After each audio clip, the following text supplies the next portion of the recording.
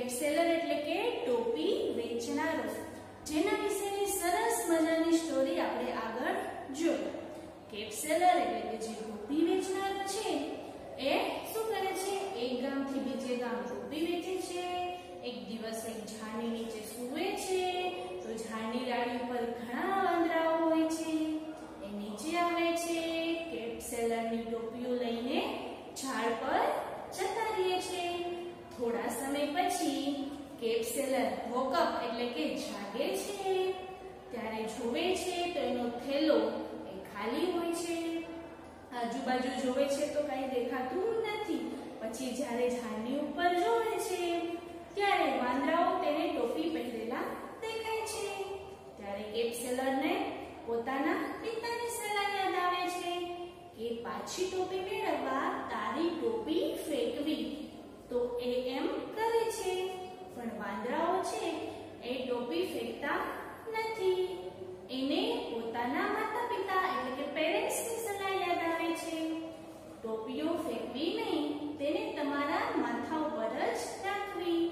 આમ જે cap seller છે, એને પોતાની ટોપી પાછી મેળવવા છે ટ્રાય કરી પ્રયત્ન કર્યા, એ ફેલ જાય છે. અને જ્યારે એ એક ટોપી પણ ફેંકે છે કેપ્સેલર એ પણ એક નાનો વાંદરો છે, એ નીચે જઈને ટોપી લઈ લે છે.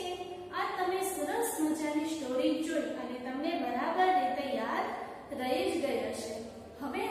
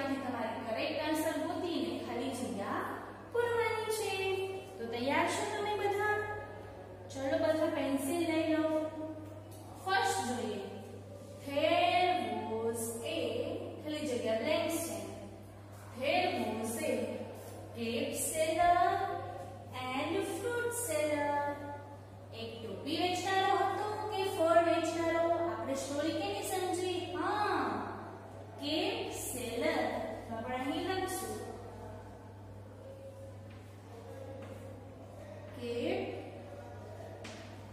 સેલર કેપ સેલર હવે આપણે એના પછીની ખાલી જગ્યા જોઈએ The cake seller had a ખાલી જગ્યા on his head. Cape and hat.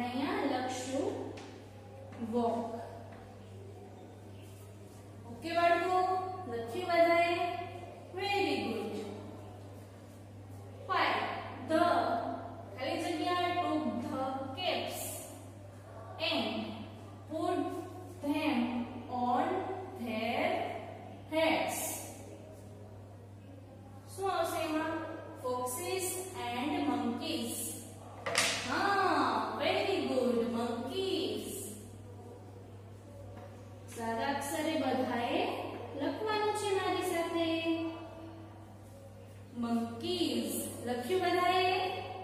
Very good. એના પછી જોઈએ. ધ કે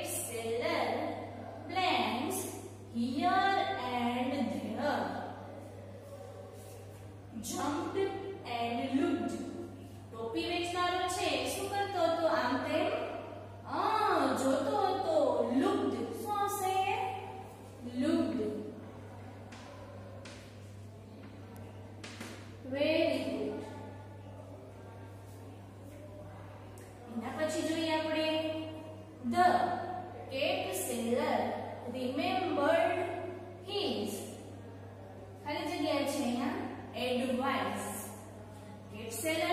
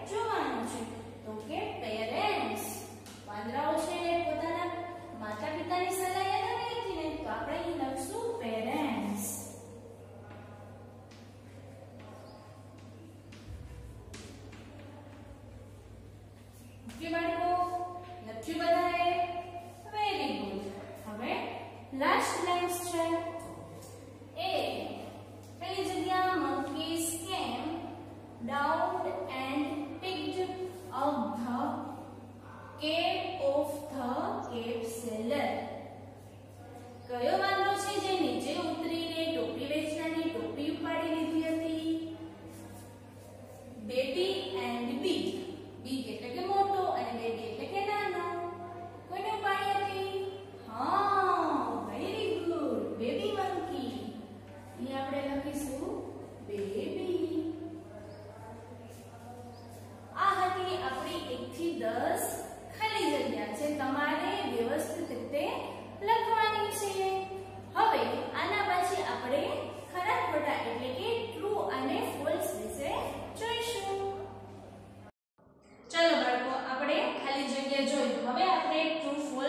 એટલે કે ખરા ખોટા વિશે જોઈશું.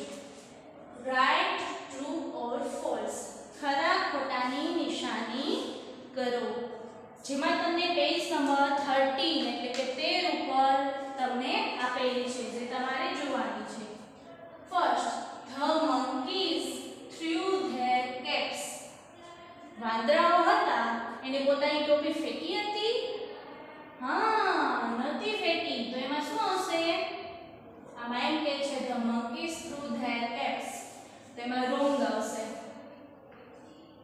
આપણે અહીંયા નિશાન કરવાનું છે.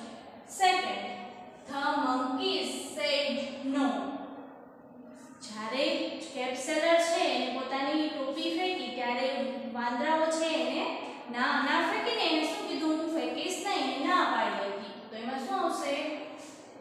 Right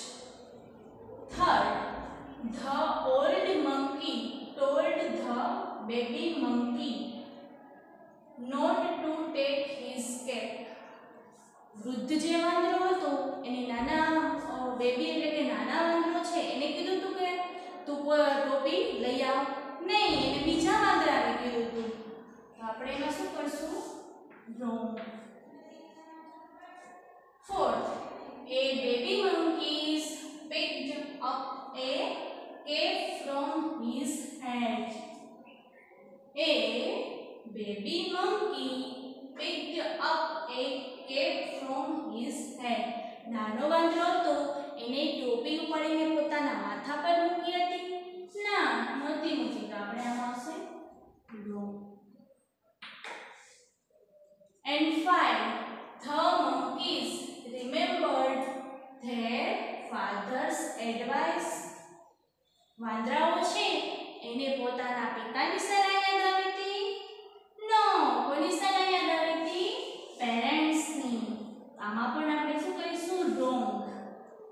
બાળકો, તમે બધાએ રાઈટ અને રોંગ વ્યવસ્થિત કરી લીધું. બરાબર તમને સમજાઈ ગયું? હા, હવે પછી આપણે આગળનો અભ્યાસ બીજા લેક્ચરમાં કરીશું. ત્યાં સુધી તમારે બધું વ્યવસ્થિત લખી લેવાનું છે અને યાદ કરી લેવાનું છે. જય મામાદેવ